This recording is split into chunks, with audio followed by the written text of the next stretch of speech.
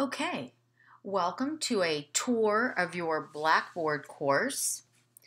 Please take a look at the menu and buttons on the left side of your screen in Blackboard. Now, if you don't see anything, the menu is collapsed. Just take your mouse and run from bottom to top along the left margin. And you will see an arrow light up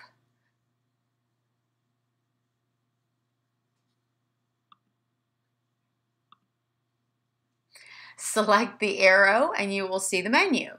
The menu contains a list of buttons or tabs as follows.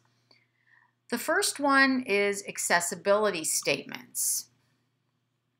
This is a reminder to students with disabilities that it is not necessary to view these contents in this modality or format Pursuant to the Americans with Disabilities Act, all materials available here are also made available in various formats. Just see me for additional assistance.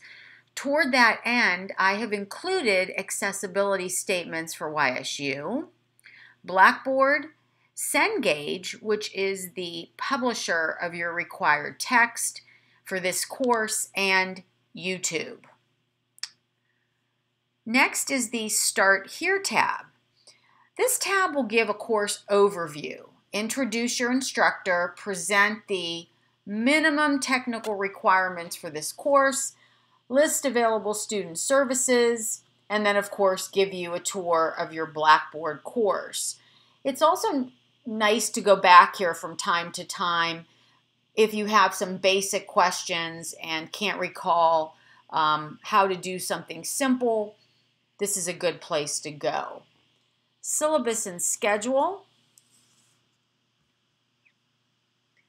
Here you will find the most updated versions of your syllabus and schedule for this course.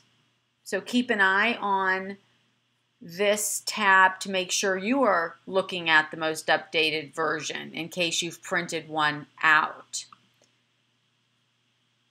daily announcements. Here you will see the most recent announcements that I have posted. Announcements are posted several times a week regarding new assignments, deadline reminders, or changes in the schedule.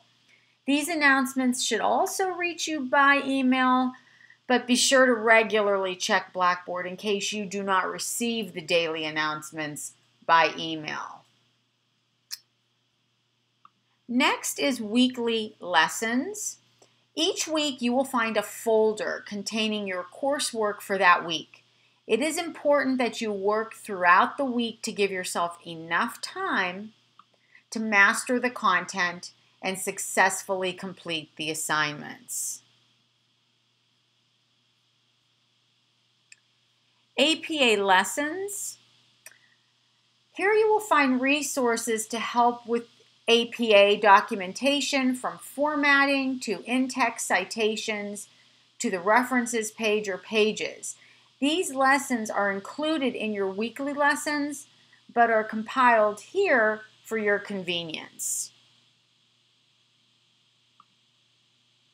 Discussion forums.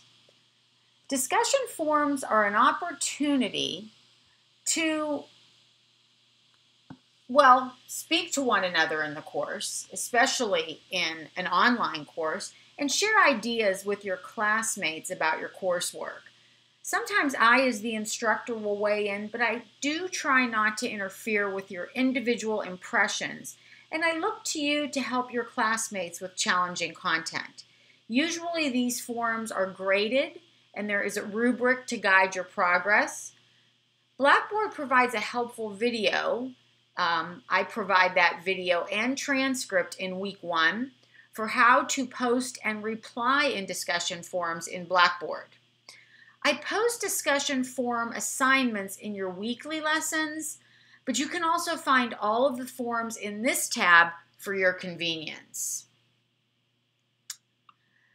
Major assignments. Although the prompts for all major assignments will be in the weekly course information, you can also find the prompts quickly by selecting this button. And that's the same for minor assignments. Although the prompts for all minor assignments will be in the weekly course information, you can also find the prompts quickly by selecting this button. My grades.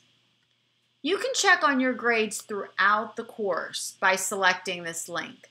Please, please contact me immediately if you see any errors. Do not hesitate to contact me. If you see the dash symbol, that means you did not submit an assignment. The symbol exclamation point means that you did submit the assignment, but I've not graded it yet. If you see a blue circle, that means that there was an internet interruption and your assignment was not transmitted. If you see this circle, text me, well, I guess email me immediately so that I can clear your submission and you can try again. It is your responsibility to keep up with these issues. Rubrics. For each major assignment and some of your other minor assignments, including discussion forums, you will be given a rubric. A rubric breaks down each goal for an assignment and assigns points for that goal based upon the student's success in achieving that goal.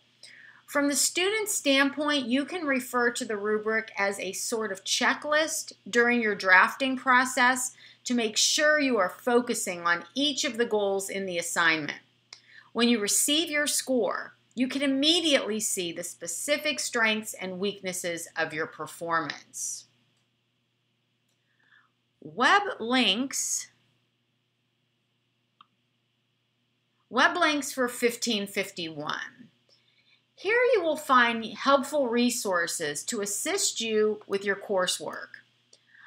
I put in the Purdue OWL. It's a popular website offering assistance with all writing assignments for any course, easy to use references for documentation styles such as MLA, APA, Chicago, and help with grammar, syntax, and sentence structure.